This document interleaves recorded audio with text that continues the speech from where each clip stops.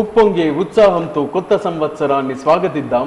అవధులు లేని ఉత్సాహంతో ఉగాది ఉత్సవం చేసుకుందాం అంటూ సదాశిపేట్ మండల ప్రజలకు సంగారెడ్డి జిల్లా ప్రజలకు అధికారులకు అనాధికారులకు విద్యార్థిని విద్యార్థులకు మరియు నాయకులకు ఉగాది శుభాకాంక్షలు తెలియజేస్తున్న వారు సిహెచ్ నర్సింహులు సదాశిపేట్ మండలం సంగారెడ్డి.